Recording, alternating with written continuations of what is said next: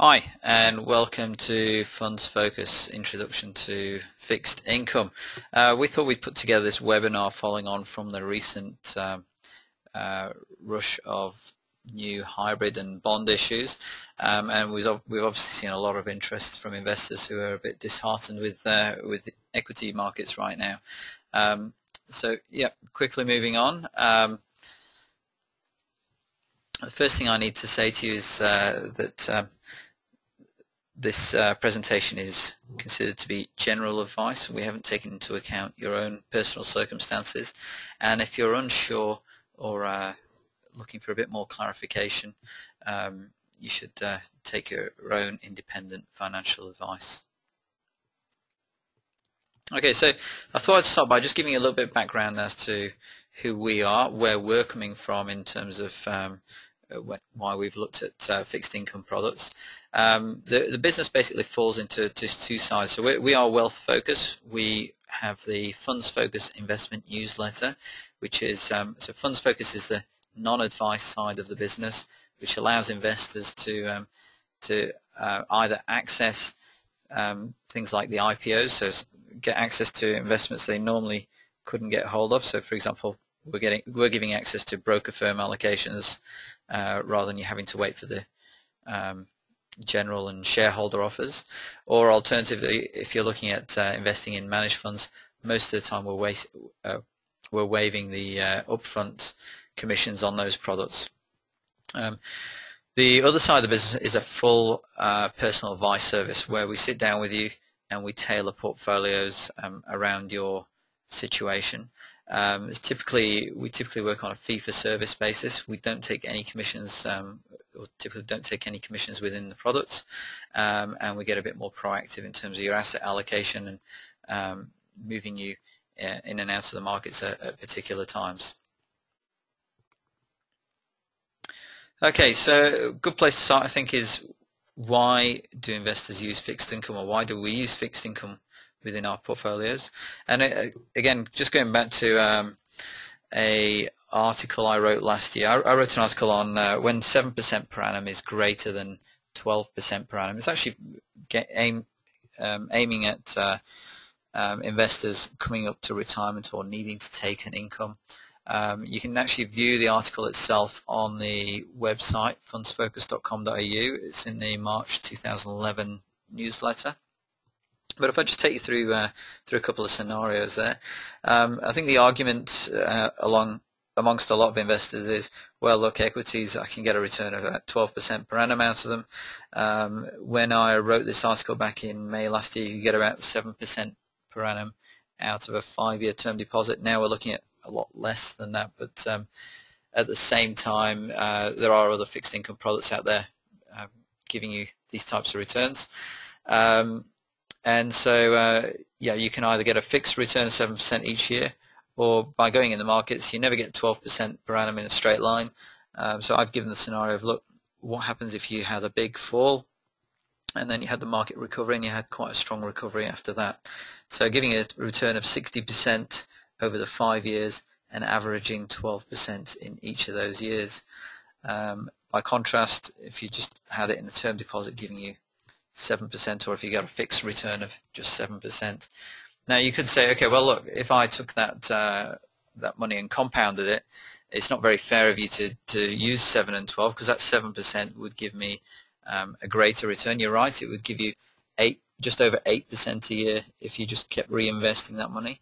Or alternatively, if you took your um, 12% average, um, but if you were compounding because you've lost 30% in the first year, uh, that would give you a much lower return, but you've still got 9% a year return there versus the eight, just over 8% from uh, from the fixed income products that I was uh, using as an example. Now the issue here, so th there's no argument in terms of um, who's giving you a better return there, but the, the issue here is if you need to take income. And so what I've taken here is an example where you need to take 7%. Uh, so I've used 100,000 just because it's a nice round number. 7% is $7,000 a year. So let's say you need $7,000 a year income from your investment. And if you have a look at um, uh, if you have a look at uh, um, here you're taking $7,000 out, um, growing over the course of the year, take $7,000 out, and so on. If we then use the same scenario that we were just looking at um, a moment ago, where we're falling by 30%, we've then taken 7,000 out here. I mean, at the end of the day, the markets have fallen, but you can't just turn around and say, look, I don't want to eat for this year. I'll, I'll wait until the markets recover. Um, and so you've still had to take 7,000 out. Markets have recovered a little bit, or flat year the, the following year. Um, we've taken a 7,000 out again. We then had a recovery of 20%, taken 7,000 out, 29 and 36. And the interesting thing there is because you've been taking money out at these lower, the same amount of money out at these lower levels, you've actually ended up with less than you, you started off with, even though you had a, a better average return over those five years than, than uh, a fixed income product. So really the, the emphasis there is that, look, when you're looking at taking an income, you just can't um, afford to uh, uh, have the volatility in your portfolio that you that you could have put up with when you weren't needing to take an income. So the other the other thing I'd look at with income is as to why we use it. We also use it as um, as a way of stabilizing investor portfolios. Um, and one of the things we look at is how they correlate with equities. And what I mean by that is, do they go up and down together with equities, or do they, um, uh, you know, do they perform in their own right? Um, now, if you look at um, high-grade corporate bonds, so um, we'll come on to that in a moment, but those types of bonds that are higher up the debt structure and government bonds, they typically have a negative correlation to equities. Um, so if we have a, a, look at example of ANZ, I got this chart courtesy of uh, BT Investment Management. Um, if we had a look at how ANZ did um, ANZ shares in the GFC, just give me a moment, I'll get the pointer here. Um, so if we have a look, ANZ shares fell almost 60% over the course of the GFC. By contrast, if we look at ANZ bonds, uh, which were uh, quite high up in the in the debt structure, so high grade bond, um, what we've seen there is the, the value of the bonds actually gone gone up in value, um, and so that's um, by mixing these two together within a portfolio, um, it tends to pull us away from these roller coaster highs and lows that we uh, that we get associated with in, in just being in equities. Um, okay, just a second.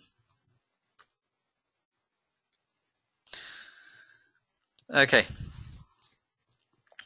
so uh, let's have a look at the uh, types of investors that we see coming through. So I, would actually say you can put investors into two brackets when looking at fixed income. You've got the investors who, um, are typically just looking for an alternative to, to term deposits. Um, but they might, I mean, they realize there's a little bit more risk within these than, than a term deposit, but they're not really concerned about market movements. Um, they're looking just for a headline income rate, and they're looking uh, for a large brand. So, um, uh, and, and, really, they're not just not concerned about the uh, the structure whatsoever. Um, they're just happy that they're getting a, a greater return than they were within uh, within the term deposit alternative. The other basket uh, of investors, I'd say, is, is, active investors. Those that want to ensure they're getting an adequate return for the risk that they're taking. Um, and I, that's where I put ourselves in as, as advisors. So what I'd say is, look, fixed income products can differ very significantly. Um, and as a result, uh, you've got to realize that the differences in the in the fixed income products uh, will mean that they behave differently in differing market conditions as well.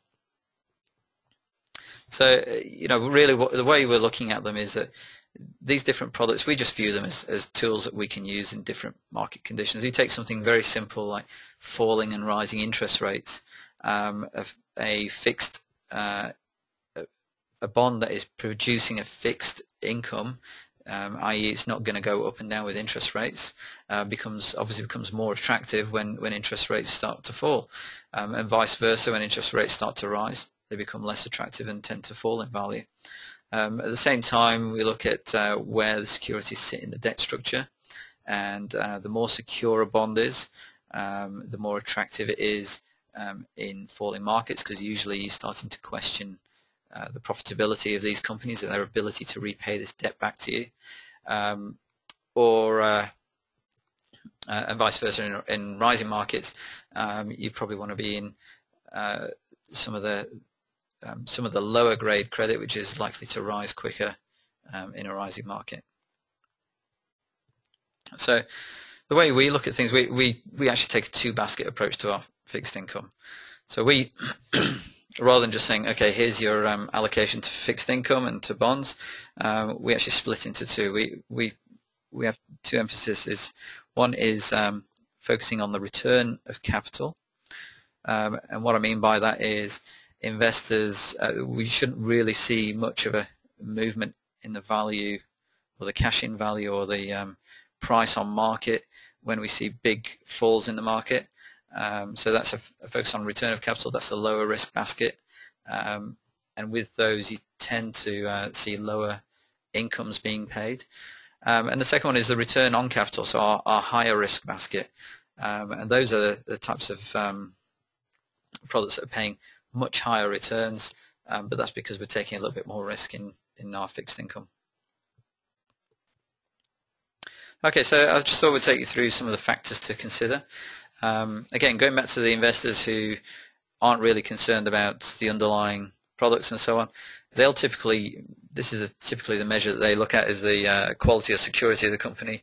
They tend to like big brand names um, and they just view these companies aren't going to go out of business and therefore I'm just going to put my money into it and, and take an income. Um, and the way they may they might view that in terms of risk is they might look at Woolies and uh, and the banks say, okay, well they're very very secure. AGL, Origin Energy, probably middle of the road.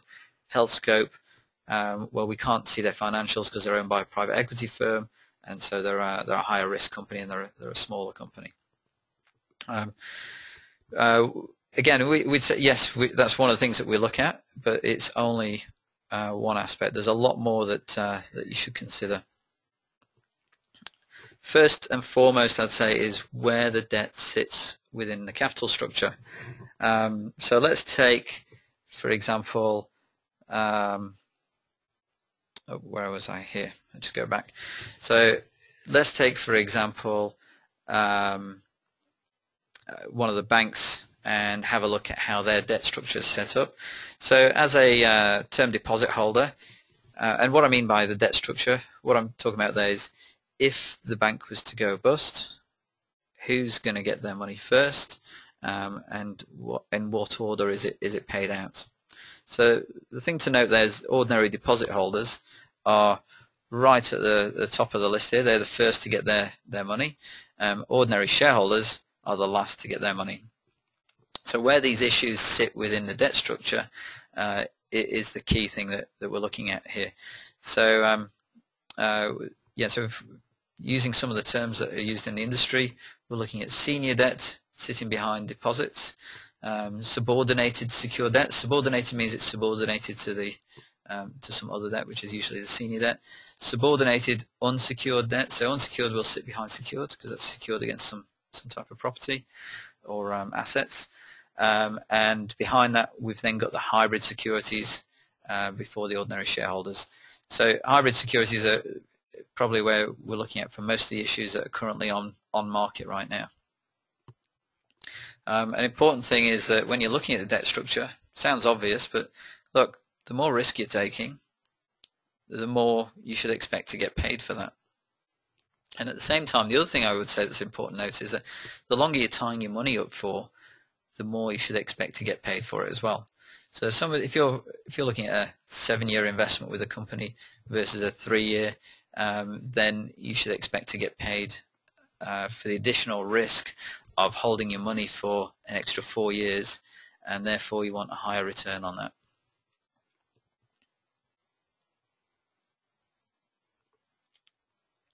So uh, just going through a couple of examples of the recent issues.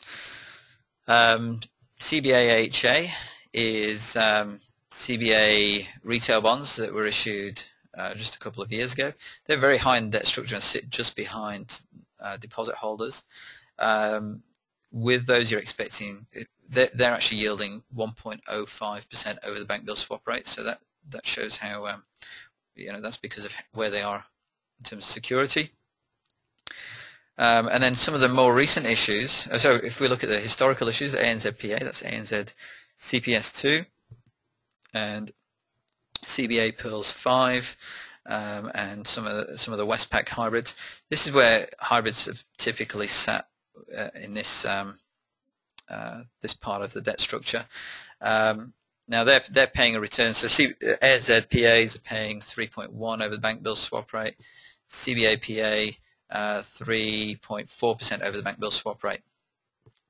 Now by contrast, the more recent issues, so ANZ subordinated notes, if I can find my cursor again, here we go, ANZ subordinated notes and the NAB subordinated notes as well as the colonial subordinated notes are, are higher in the debt structure and that's why you've seen um, a reduction in terms of the yields that are being offered. So they're paying at 2.75% over the bank bill swap rate. Um, but at the same time, they're offering you a little bit more security. Okay, so um, I'd say one of the, the other another important factor is the security of, of having a maturity date. Um, one of the questions that has come through uh, time and time again with uh, with the registrations for the webinar was uh, was actually with regards to NAB um, NABHA, which is the first hybrid note to um, to be issued on the ASX back in 99 2000. Um, that's uh, that's seen a, a, a fall in uh, a, a, fall in price, and um, so I just thought I'd cover off um, uh, how why it's important to have a maturity date within these. Um, so just looking at uh, NABHA, that was issued back 99-2000, I was saying. Uh, the interest rate at that time, or still is, is one and a quarter percent over the bank bill swap rate. Um, bank bill swap rate is currently around three and a half percent, um, and typically uh, moves up and down with the RBA rate, roughly speaking. Um, so yeah, so that just gives you an, an idea. So pre-GFC, uh, you'd expect to get 1 to 1 quarter percent over the bank bill swap rate for this type of issue. Post GFC, that's gone up to about 3, 3.1 percent. So because NAB was a perpetual, sorry, NABHA is a perpetual security and has no maturity date, if we have a look pre-GFC, it just tracked along around its face value of $100. Um, now, what we saw during the GFC was the concern that is NAB going to be around in business, and at the same time, the cost of borrowing went up. So the price dropped all the way down to, to $56, um, then recovered up to around uh, just over $80, um, and it's gradually been coming back down again. We're around $68, I think, um, as of uh, as of today. Um, the, the the main thing you've got there, the reason it hasn't recovered back up to $100 is purely to do with um, the cost of borrowing has increased. So for a similar security today, you'd be over 3%. And so when you're looking at um, it trading around $68, that's giving you a similar type of return to if that security being issued today. Um, so I don't really see that price coming back up anytime soon. And uh, to be quite frank, I don't really see NAB uh, willing to repay that um, repay that anytime soon either. They've got a very, very cheap source of funding at one and a quarter percent over the bank bill swap rate. Um, interestingly enough, uh, one of the brokers that uh, that we've used uh, for clients has um, has got a solution. FIIG Securities has got a solution for uh, for those investors with with an alternative. Um, but at the same time, what I thought I'd also do is compare that to another security, um, IAGPA, which was paying a similar rate of interest, 1.1% over the bank bill swap rate. The difference being with this one is that investors had the opportunity to redeem at face value in June 2007 and also in June 2012.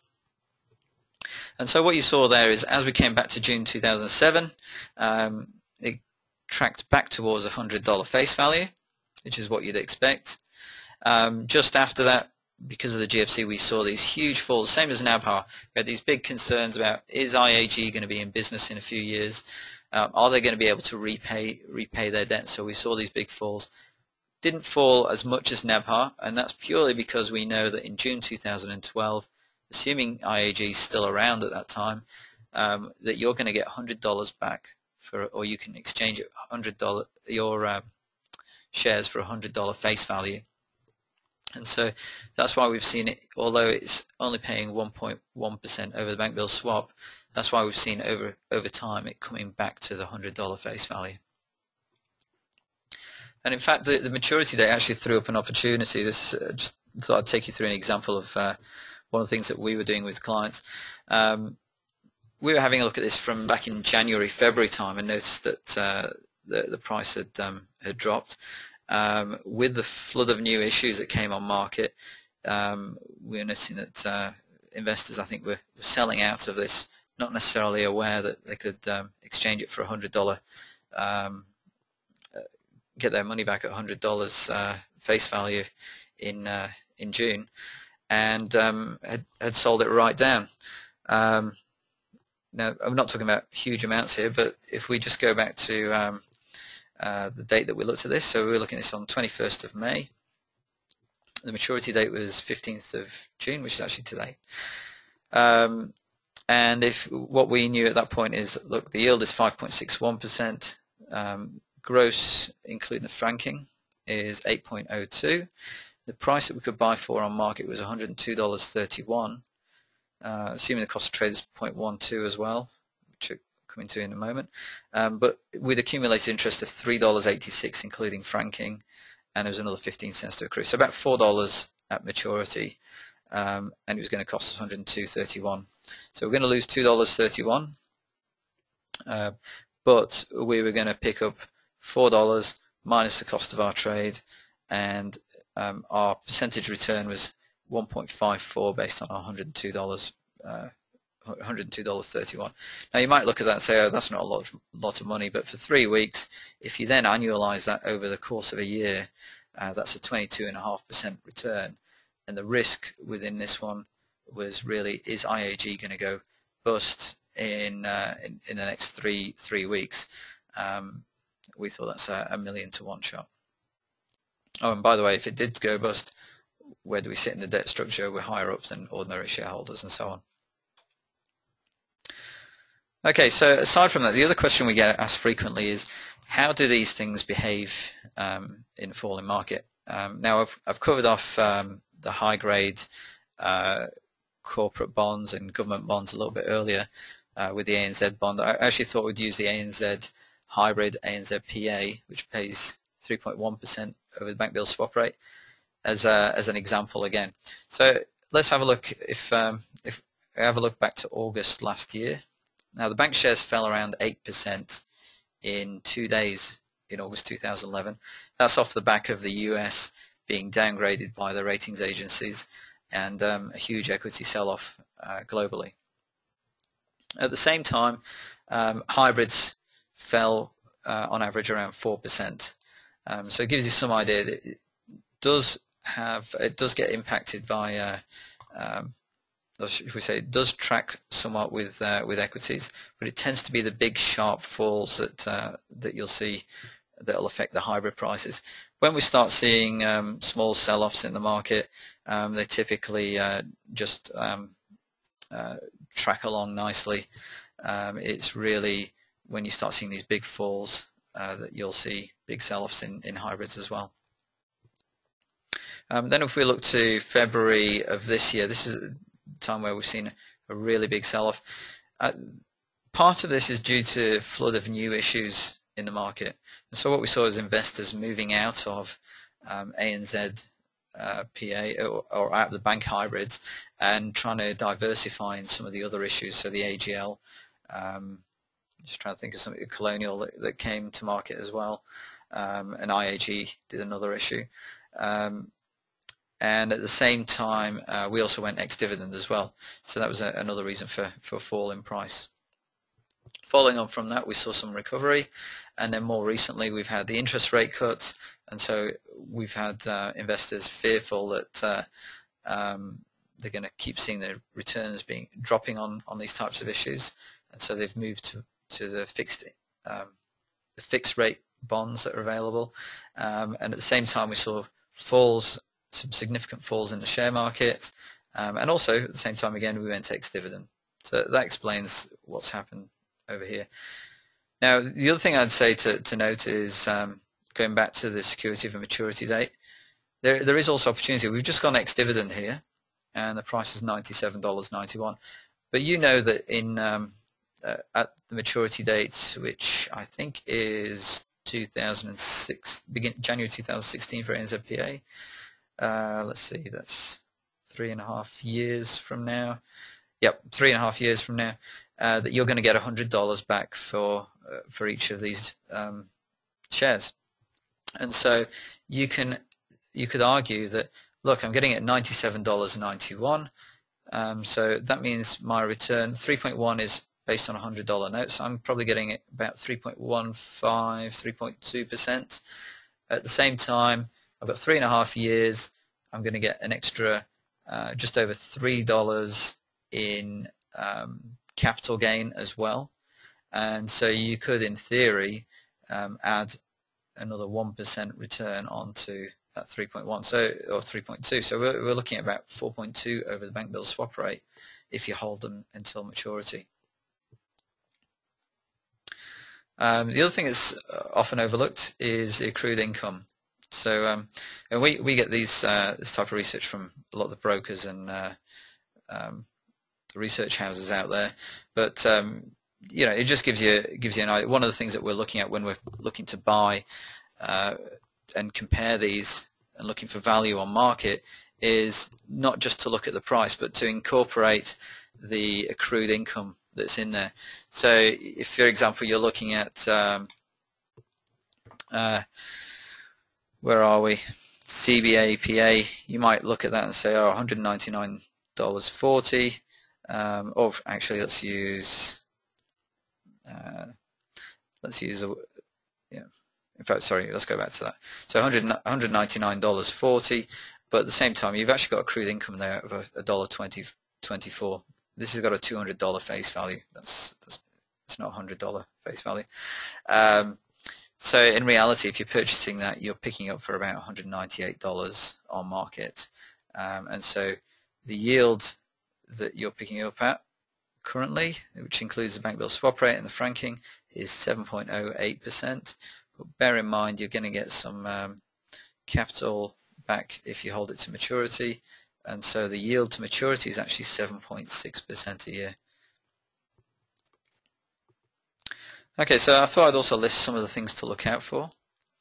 Uh, one is, as, as I've been saying throughout, is the maturity date.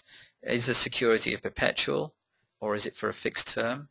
Now I'm not saying because um, because it has these things in there, for example, if it's a perpetual security, that um, don't invest in it. What I'm saying is a perpetual has more risk than um, a fixed term product and therefore I want to get paid an additional premium for that extra risk that I'm taking.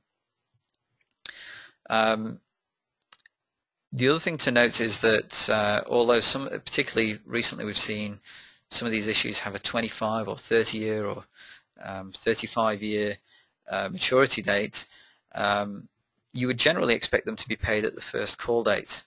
And the reason for that is primarily the impact that that has on their ability to borrow money in the market.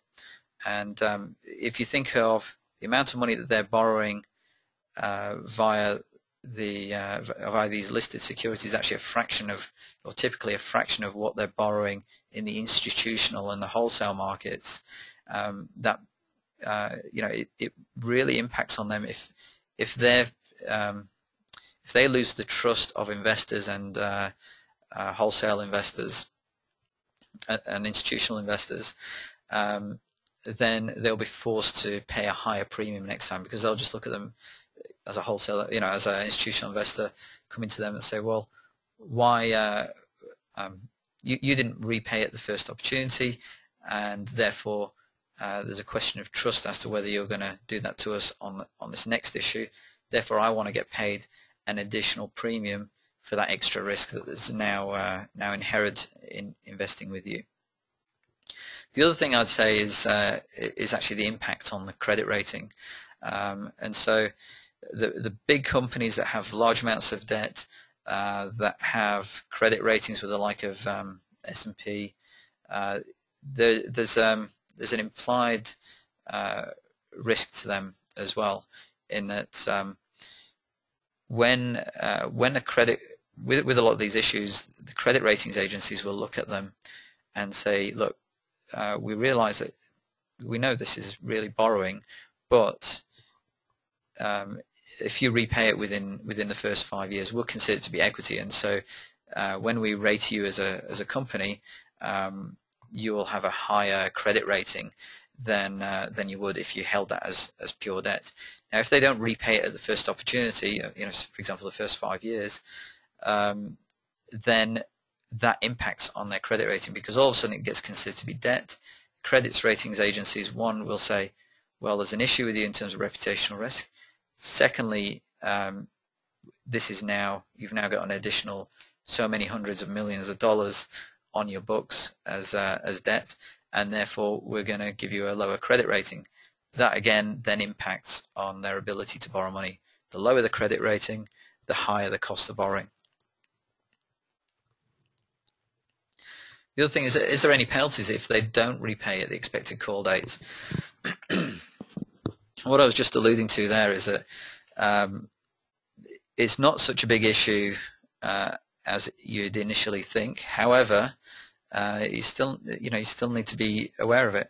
So this is typically called a step up. So if um, if they don't repay at the first date, you typically want to see some type of step up of maybe 1%, 2% as a penalty um, on the interest rate for uh, not having repaid when, when you're expected. So you need to be compensated for them not repaying it.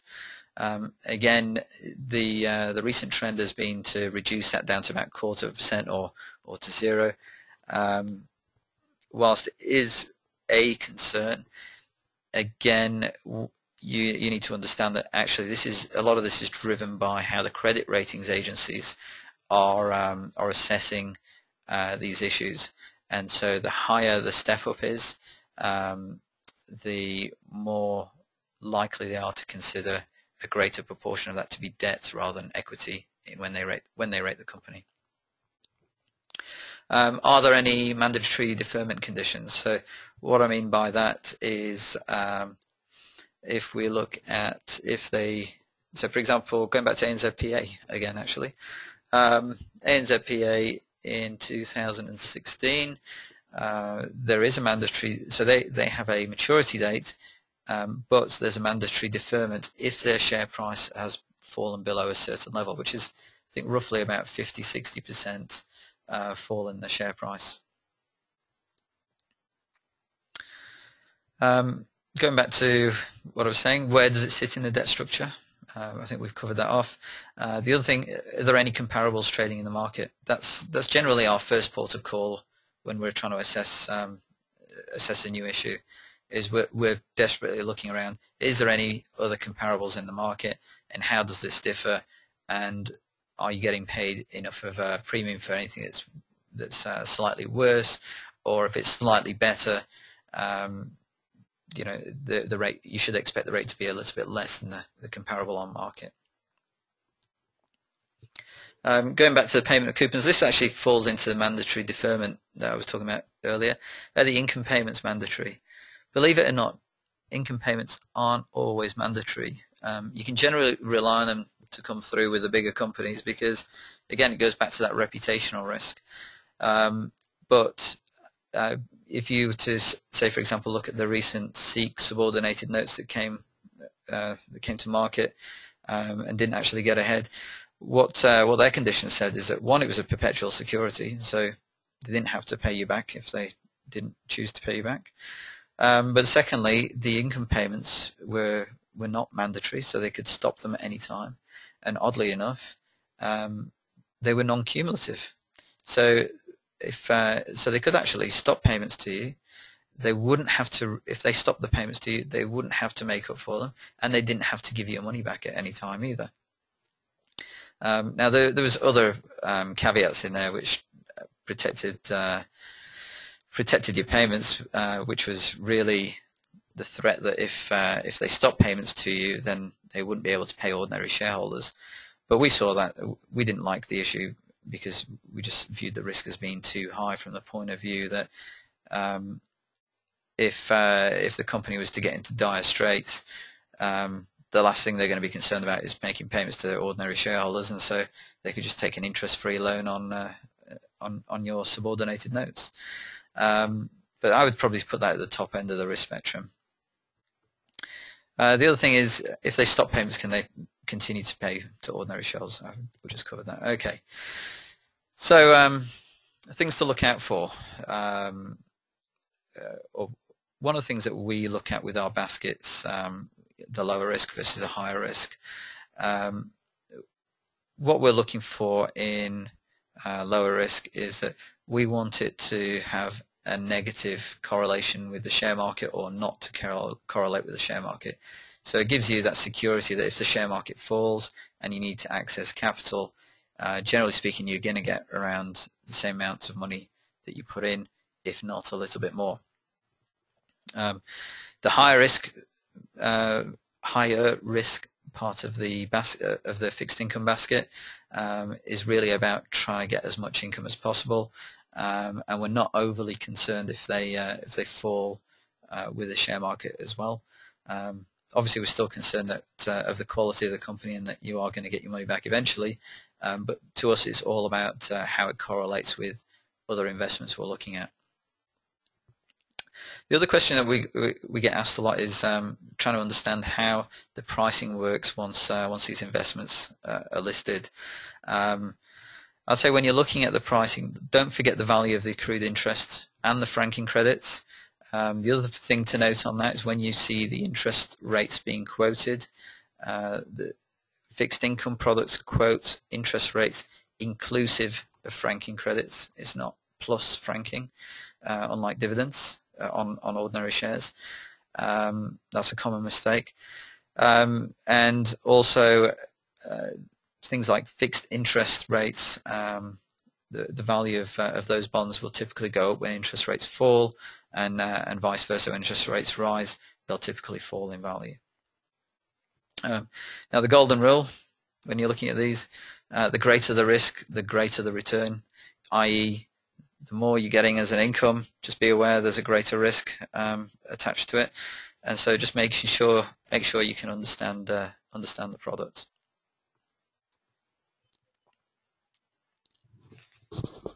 So, so how do we how do we structure our client portfolios?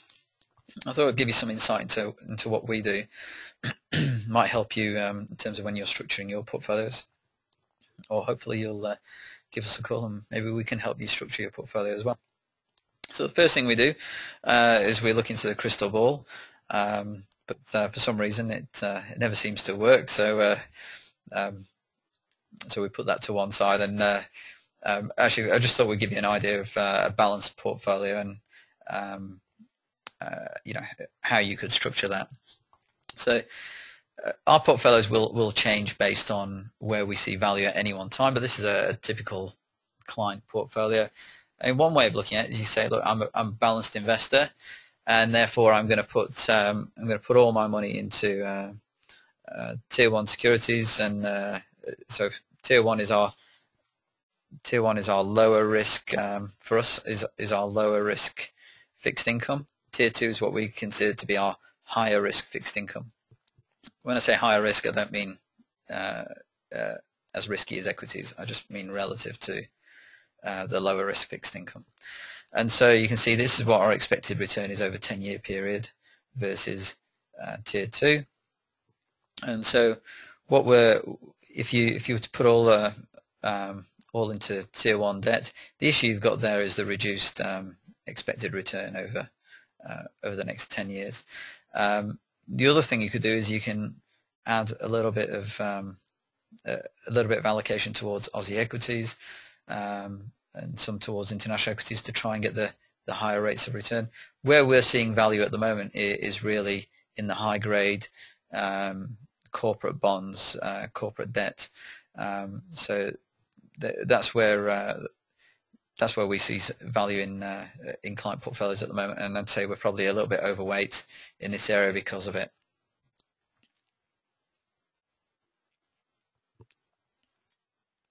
Okay, so again, just having a look at some of the recent issues, ANZPA, um, although we put it into our higher risk uh, basket, I'd probably say is at the uh, at the um, most more secure side of that basket. Um, Heritage Bank uh, was a seven and a quarter percent fixed rate bond that just came out for five years. That's um, that's very attractive in a falling interest rate environment.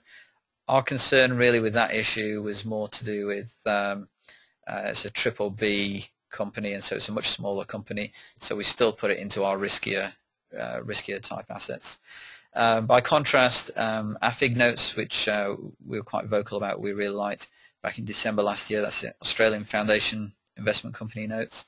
Um, that's only paying six and a quarter percent, but it had a nice uh, call option uh, attached to it. Um, uh, again, that that is really uh, in our low risk basket because uh, if you look at that company, there's 400, sorry, less than that. There's about 300 million dollars worth of debt um, against a four billion dollar portfolio, which uh, you could say is pseudo ASX 200.